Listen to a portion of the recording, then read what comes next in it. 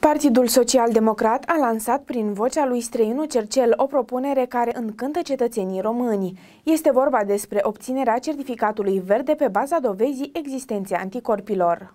Președintele Comisiei de Sănătate din Senat, medicul infecționist străin Cercel, a declarat în plenul Senatului că proiectul de lege care introduce obligativitatea certificatului verde la locul de muncă, atât la stat cât și la privat, este greșit din punct de vedere conceptual și științific, pentru că atât persoanele vaccinate cât și cele nevaccinate pot să se infecteze cu noul coronavirus și a arătat că aceia care au trecut prin boală asimptomatic nu pot beneficia de acest certificat, ceea ce constituie o discriminare vaccinare. O idee bună, cum să nu fie, pentru că anticorpii uh, reflectă care este uh, reacția organismului dacă ești atacat de virus. Cu cât numărul mai mare de anticorp este mai mare, cu atât înseamnă că organismul poate să reacționeze e foarte bine.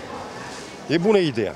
Obținerea certificatului verde pe baza dovezii existenței anticorpilor este o propunere care încântă cetățenii români. O idee bună, având anticorpi, înseamnă că ești rezistent la boală și nu poți să transmiți la un mod virulent boala respectivă. E ceva, da decât să facem vaccinul, deci nu, nu sunt de acord cu vaccinul. Noi avem un procent de circa 60% din populație care s-a infectat cu SARS-CoV-2. Au făcut o infecție asimptomatică, nu figurează nicăieri și nici nu se pot înregistra pe platformă prin determinarea anticorpilor din deget. Este un test extrem de simplu care poate fi făcut la medicul de familie și medicul ar fi putut să aibă posibilitatea să urce aceste persoane pe platformă pentru a beneficia de certificatul verde, a spus străinul Cercel.